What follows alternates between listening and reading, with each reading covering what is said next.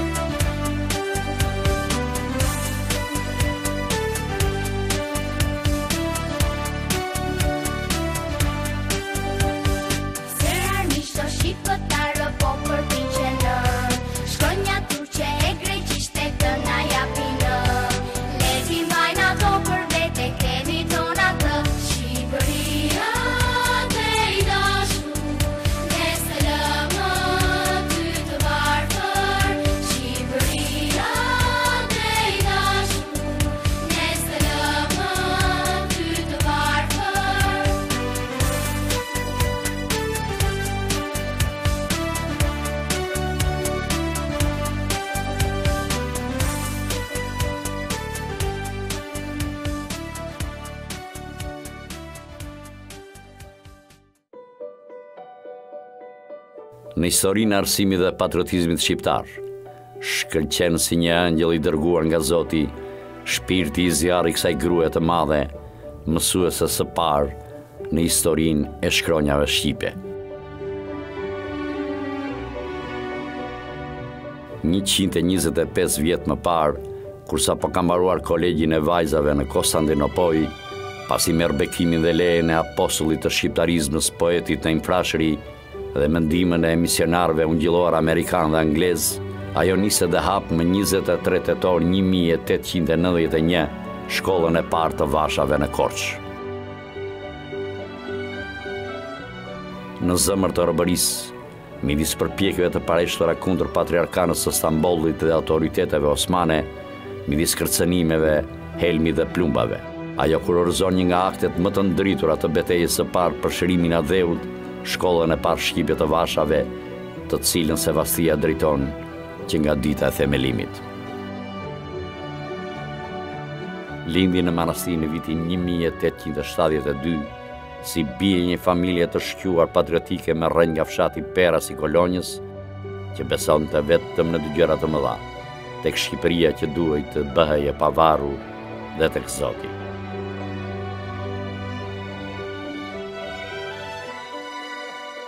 Shtëpia e Qirjazëve qe shndërruar në një vatër të rëndësishme kombëtare, që priste përcillte patriotët e shquar të Rilindjes, si Kostandin Kristoforidhin, Koto Hoxhin, Pandeli Sotirin, Petro Nini Luarasin, Orhan Pojanin, Nuçi Naçin, e të tjerë. Të katër fëmijët, Gjerasimi, Gjergji, Sevastia, Parashqevia, arsimohen të mbështetur nga bordi amerikan protestant dhe bëhen katër pionierë të mëdhenj të lirisë së Shqipërisë, duke filluar nga shkronjat e përgjakura shqipe, që ishin 36 kërëngritësit e parë për krijimin e shtetit të pavarur shqiptar. Sevasti Qirjazi është gruaja e parë rilindëse shqiptare, që rri krah për krah në lartësinë e babait të pavarësisë Ismail Qemalit, Naim Frashërit, Mihal Gramenos, Çerçiz Topullit, Mithat Frashërit, Gjergj Fishtës, Asdrenit, Ndre Mjedës e Petro Nini Luarasit,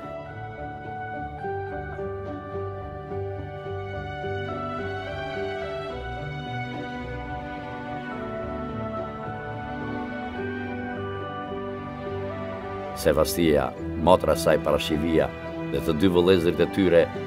Janë mësues dhe autorë tekstesh. Të kudondodhura nëpër ngjarjet e mëdha të kohës për atdheun, nga Korça në Bukuresht, nga Stambolli në Amerikë, ku kryen studimet e larta, hapin gazeta dhe drejtojnë një parti kombëtare, janë në Kongresin e Elbasanit dhe në Konferencën e Paqes në Paris në vitin 1919 si përfaqësues të komunitetit shqiptar-amerikan.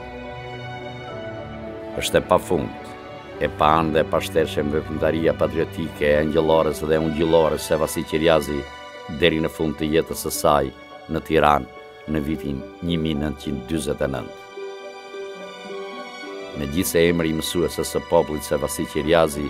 është nderuar qindra herë nëpër përvjetorë, megjithëse është përjetësuar në emra shkollash e universitetesh, rrugësh e institutesh, sërish borxhi ynë ndaj saj mbetet ende i madh dhe i pashlyer.